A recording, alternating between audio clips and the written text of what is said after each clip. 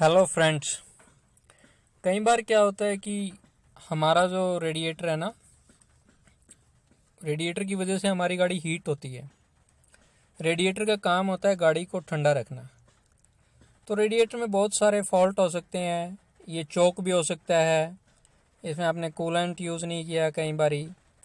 तो there are lot of reason so उन्हीं में से एक रीज़न है हीटिंग थर्मोस्टेट का रुक जाना, जिसकी वजह से जो प्रॉपर हीटिंग टेम्परेचर पे जो थर्मोस्टेट वाल्व जो खुलना चाहिए, वो नहीं खुल पाता है और आपका फ़ैन नहीं चल पाता है।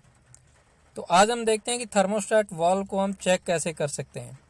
एक ऐसा हमने कोई भी डिब्बा ले लेना है और उसके अंदर हम थर्मोस्टेट वाल्व को खोल के इसमें रख लेंगे, कुछ पानी इसमें डालेंगे। ठीक है।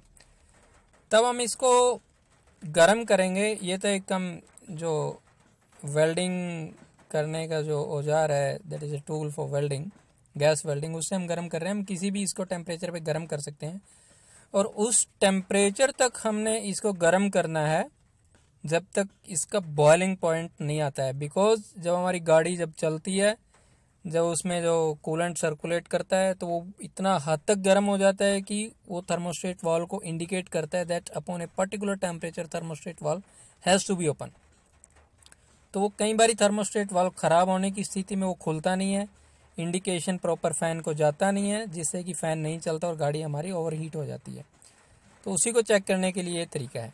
ये देखिए, जब इसका बॉइलिंग पॉइंट एकदम से आ गया है वाटर का तो इसको खाली करेंगे हम। इसमें हम देखेंगे कि नीचे से अगर थर्मोस्टेट वाल्व खुलता है तो नीचे से पानी आना चाहिए।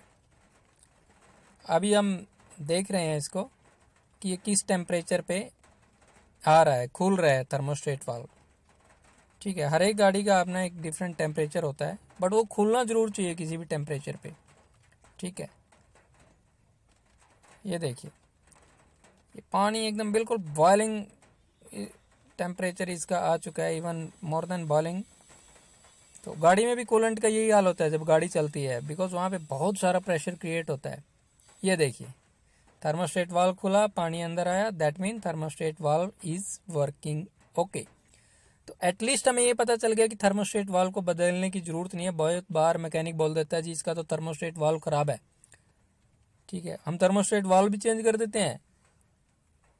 ठीक है, फिर भी हमें और कुछ प्रॉब्लम आ जाती है। दैट मीन की प्रॉब्लम कुछ और है।